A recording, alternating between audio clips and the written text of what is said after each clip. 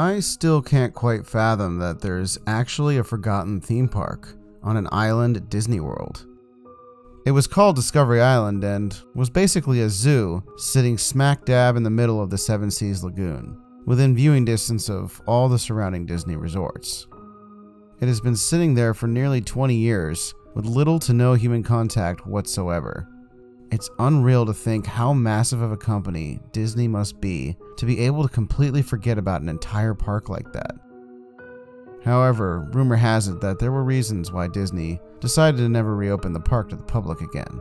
And those reasons have to do with an alleged man made substance known as Chemical D. Chemical D is said to be a highly viscous, mint colored solution that was originally used to eliminate mosquitoes and other bugs from Disney. And considering there's never any bugs at Disney World, one would have to assume they are using some very strong things to accomplish that.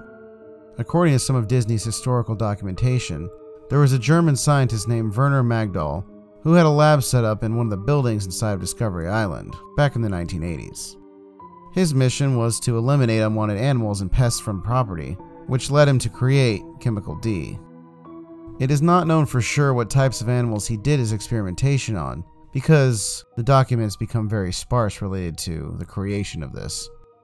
There are photos and dossiers that have been discovered throughout the years, which prove that he did participate in disturbing studies involving mammals and other large creatures. However, nothing substantial enough to completely prove it. That's the reason a group of my Disney nerd friends planned a recon trip out to the island. We rented two of the little sprites from Disney at the Bayside Marina. My friend Lily, a journalism major in college, and her boyfriend Rich rode in the boat up front and my longtime best friend, Oscar, and I used a different one we followed behind with. We didn't have a lot of time because they're honestly pretty damn expensive by the hour. Disney prices, you know. When we arrived, we immediately hid our boats under some overgrown brush we found to evade patrol boats that would most definitely be passing by. Before I stepped out of the boat, I saw Lily staring up into the trees, astonished.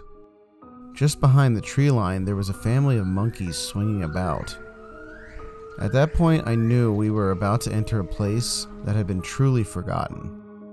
We progressed into the island and carefully crossed this dilapidated wooden bridge. Off to the side, there was a transport boat up on land, overgrown to the point where I didn't think we could even get to it, so we just pretty much kept going. Continuing forward, we came upon an old rundown wooden building with a porch at the front. A sign at the top was totally faded but seemed like it used to say Animal Hospital on it. This is it, Lily said as she pulled out one of several documents. We stepped up onto the porch and Rich forced his way through the front door. The smell of mold and rot emanated from the inside. Everything inside the place made it seem like there was some kind of confrontation, causing the people inside to leave very quickly. Papers were strewn about, there was a half eaten sandwich on the table covered in mold and rot, and there was even a discharged assault rifle shell on the floor. As we each began to search our respective sides of the building, Oscar and I came across an oddly positioned bookshelf.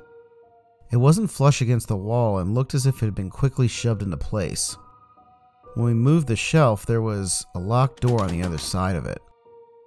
Once Rich saw this, he pretty much came over and kicked it in immediately. He was pretty motivated if you couldn't tell. Inside was a dusty little office with strange animal skeletons and dilapidated old taxidermy that were shaped to look like Disney characters. There was seriously a taxidermied rat standing up with giant ears and a dead dog that looked like Pluto. It was horrifying. I stood there unable to process what I was seeing when Lily barged in and began searching through the desk. She pulled out this giant binder containing several folders with photos and documents inside. In the first one, there were pictures of mice, cats, and even black bears caged inside the animal hospital. As she progressed further through the binder, the images became more and more disturbing. There were photos of animals going insane and literally eating their own flesh off their bodies. Then the documents became more disordered, much of them were handwritten notes, done in pencil, and not even written in straight lines, most likely written by Dr. Magdol, and were repeatedly saying things like, the Disney freaks should fear, and the cult of America will end soon. Then the last page of the notes ended with the sentence, Man is the true pest. We all stood in shock at this discovery, but nothing prepared us for the very last folder. It was labeled The Hendersons, and inside it were photos of a family of four walking around Bay Lake. They all looked like tourists. The kids were wearing Mickey ears, and the dad was wearing a fanny pack, totally 80s, but also totally unaware that they were being followed. Suddenly, we heard a bang from beneath the floorboards. We all stood silent and stared at each other in disbelief.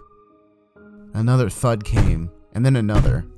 I slowly crept over to the area of the room where the sounds originated from and pulled back a large throw rug.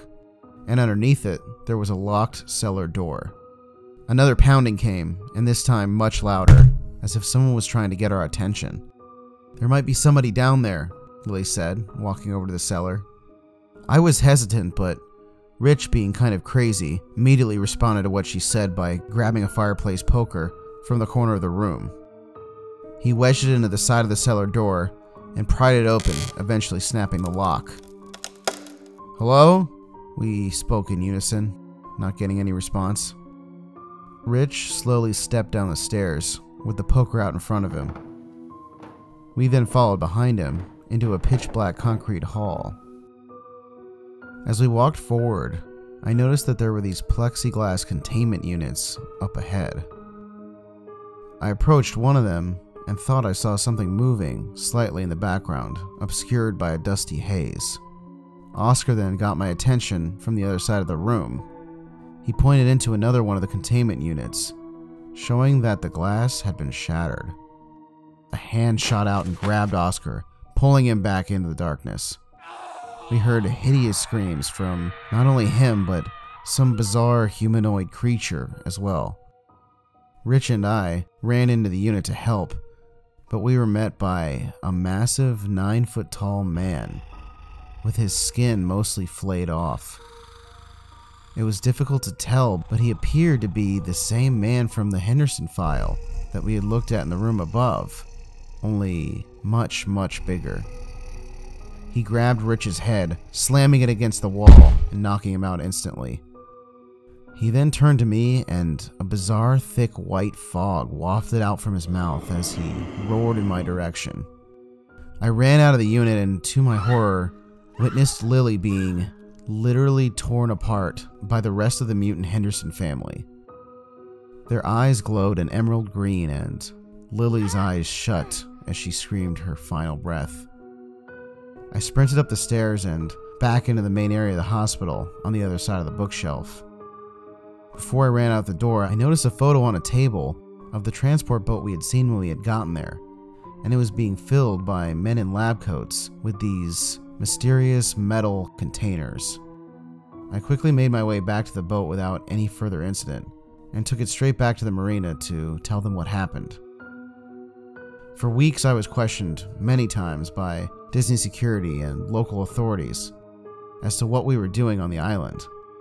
But when I just kept going back to asking where my friends were, they pretty much stopped bothering me. Needless to say, I still haven't seen my friends again, and to my knowledge, Disney has never reported anything about this incident to this day. I don't know what drove that scientist to become such a hater of Disney, and really people in general, but I have come to realize that if he was able to accomplish what he initially intended, in all likelihood, there'd be many more abandoned places in Disney World.